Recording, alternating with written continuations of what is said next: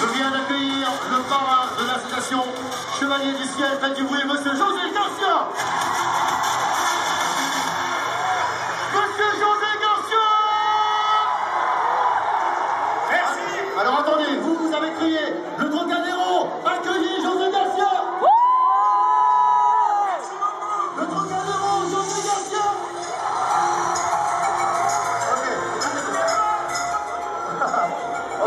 ali.